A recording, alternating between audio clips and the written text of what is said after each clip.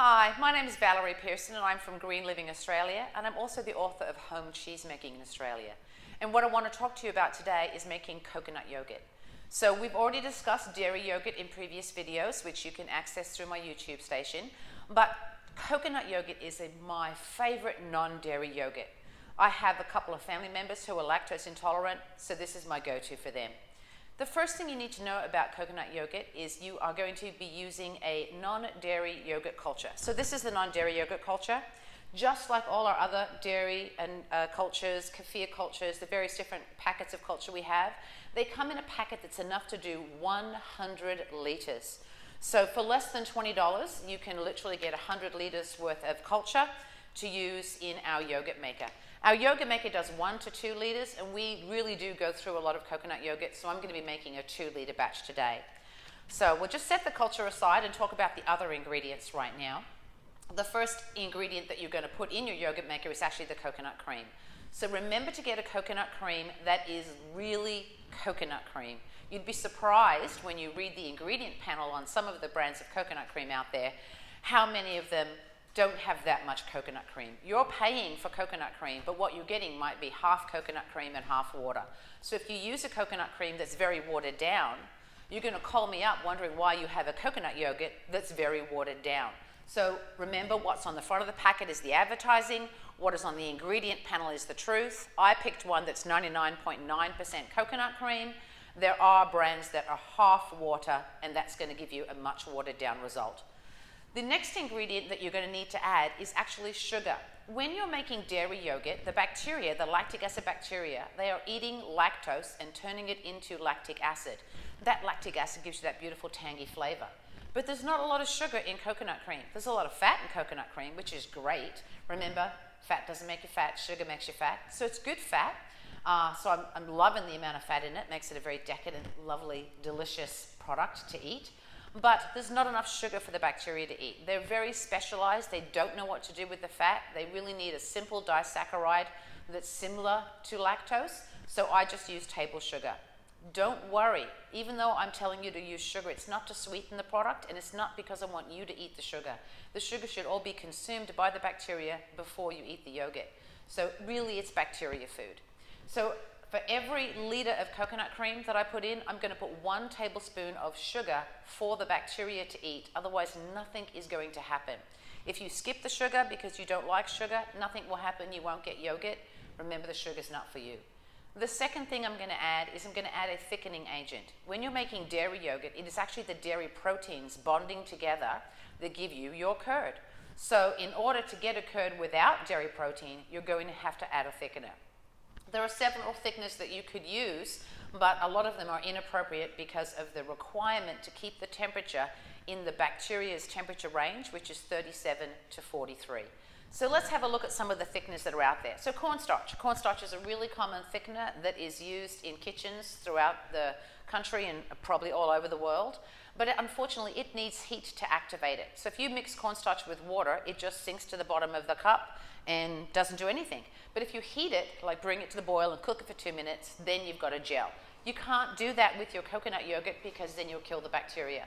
The same is the, that's the same problem with the wheat-based ones. Once again, you need to cook it, and it's also got gluten in it, which I'm looking for something gluten-free.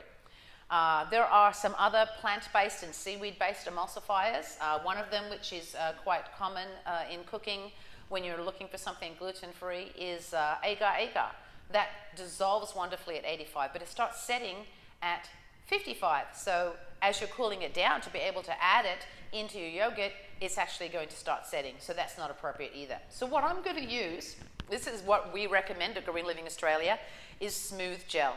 It gives you a beautiful smooth gel, hence its name. What it actually is, is a pre-gelatinized rice flour. So Pre-gelatinization is a process of heat treating. So the first thing they do is they make sure it's finely milled. It's very similar to cornstarch that the packet gives you that squeak like cornstarch does. So it's finely milled, which increases the surface area, which means it's better at uh, thickening things. And then the second thing is it's heated to a particular temperature that takes the molecular structure and makes it go from this size to this size. So once again, it's increasing that surface area, which increases its ability to thicken things. So I go ahead and take one to two tablespoons of smooth gel and add that to my coconut cream. So I've got the coconut cream, the bacteria, some sugar to feed the bacteria, and some smooth gel to thicken it into that beautiful thickness that I'm looking for. So now we can go ahead and put those ingredients all together in our yogurt maker and go ahead and make the yogurt. So we'll just move this out of the way. The first thing we need to do is we need to scald off all our equipment. So I'm just going to boil the jug and I'm going to take the equipment that we're going to use and I'm going to scald them off. So I've got the internal compartment of the yogurt maker. I will scald that off.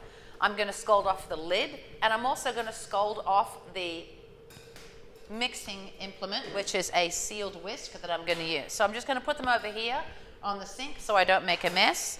I've already got my culture, a plate, and some cleaned uh, spoons and measuring pieces for the bacteria, the smooth gel, and the sugar. I did those earlier because I wanted them to be dry in time to do this, and I didn't want you to have to wait around while I did all of that. So now I've boiled the jug. I'm going to go ahead and scald off my equipment. So here we go.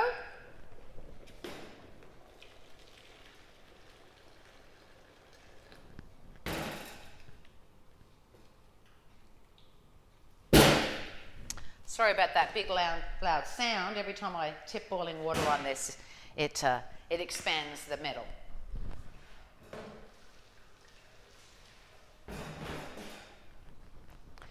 Okay, all right, so now I can go ahead. I've got the coconut cream actually sitting in a pot with some warm water. It came out of my pantry. Uh, it's not very cold here, but it is the middle of winter. It doesn't get that cold in Brisbane, but it's, I want to have it as close to 40 degrees as possible before I put my bacteria in. So I've just had it sitting in a pot of, uh, of hot water from the tap. I didn't put it in boiling water. I don't want it to get too hot, just hot enough that it gets close to 40 degrees. So go ahead and get your coconut cream out of your container. I'm going to put just one litre in to start with, mostly because I'm pretty clumsy and I don't want to make a big mess when I'm stirring a full container. So I'm going to go ahead and just put one in.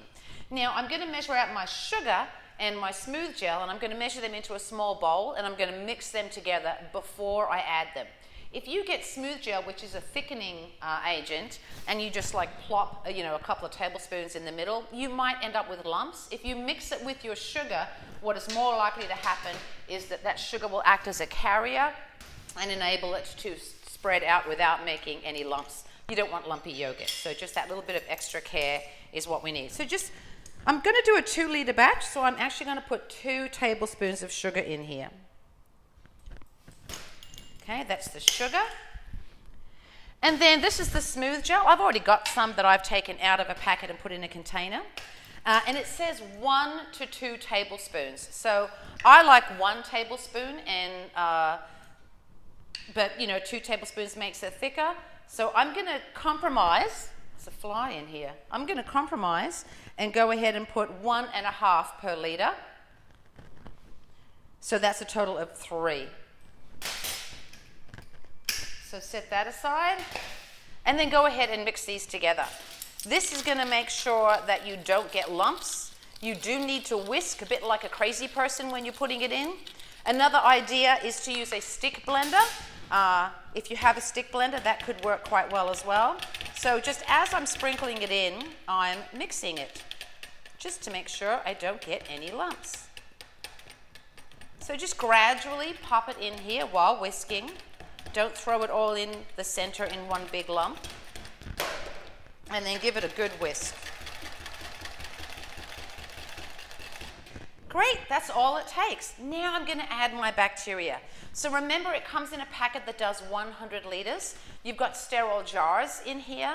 And what you're going to do is you're going to take that 100 liters worth of culture, put it in the first sterile jar, take 10%, put it in the second sterile jar, and then use that for your first batch of yogurt. So I'm going to take just a small amount of that 10 litres worth, just enough for 2 litres, uh, and pop that in. There is a whole video on how to uh, dose your culture, how to divide it up. Go ahead and have a look for that on YouTube and watch that video for more details on that step. So I'm just going to get enough for two liters on the tip of a knife here. So you can see I'm really not using a lot, just a little bit. Pop that in. It goes a long way. It's, it's pure culture. This is not, you know, a lot of additives in here. It's just culture. The ingredient panel tells you exactly what bacteria is in there, and there's, there's nothing else in there except the culture. So I've mixed that in now. So now that I've done with all my, my uh, energetic whisking, I can go ahead and add, add, the rest of the coconut cream and mix that in. And as I said, the only reason I personally only put one litre in to start with is just because if I have two litres full and I'm whisking, it's likely to get all over the counter. Okay, so go ahead and add your other litre.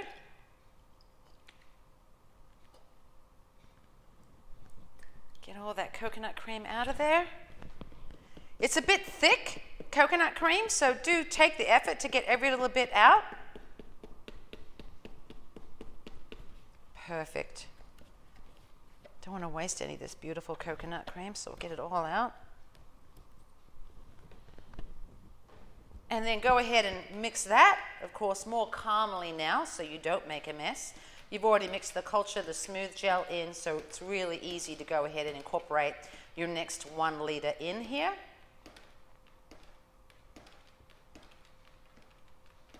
Great, I'm very happy with that.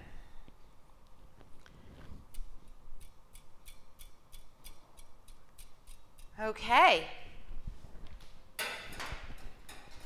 All right, now you can go ahead and put the lid on. And then get your yogurt maker. Put it in the yogurt maker. This dome will hold the heat inside and then go ahead and plug it in. So I've got my plug over here, unplug my kettle, plug in my yogurt maker, and my coconut yogurt is on the go. So that is going to take 24 hours to ferment. You really do need to ferment it for 24 hours. Remember we put that tablespoon of sugar in? You don't want that sugar to still be there when you start eating it. So if you eat it and it doesn't have a tang and it's, you know, got that, you can taste that sugar, it hasn't been left in there long enough. So I've had people call me and say that they've made the coconut yogurt, it really wasn't that tangy, what's wrong? And one for one, they had left it in for about eight to 10 hours, which is how long it takes to make a dairy yogurt if you're not doing long fermentation. But for coconut yogurt, you really do have to have a long fermentation yogurt maker that's going to maintain the temperature accurately for an entire 24 hours. So there's our gorgeous coconut yogurt. This is going to come out beautiful, rich, thick, and creamy. Uh, you're almost going to feel like you're doing something naughty when you're eating it because it is so decadent. But it's actually got lovely probiotic bacteria in Acidophilus and Bifidus, as well as your yogurt cultures. Uh, and it's, it's like having dessert in the morning with, uh, with a bit of muesli. It's absolutely incredible. I just can't get, I can't say enough about how good this particular coconut yogurt recipe is. So if you have any questions about making uh, coconut yogurt, dairy yogurt, or other yogurts, you can contact Green Living Australia. You can go to the website, greenlivingaustralia.com.au. There are lots of frequently asked questions. There's a blog that shows you how to do things step by step. Um, there's also a helpline that runs six days a week, so you can call Green Living Australia and ask for help uh, any day of the week except Sundays. And uh, we're going to keep coming to you with more great recipes. The next time that I talk to you, I want to talk to you about making jam, but I want to talk to you about making jam with no sugar. So we've got 1.7 million diabetics in Australia, so I want to do something about that. So I'm going to give you a way to make jam with no sugar. But that's the next time I talk to you. I hope you liked this video. Uh, if you did, please share this with other people that could benefit from learning how to make some things themselves that's healthy and, in this case, alive. Thanks a lot.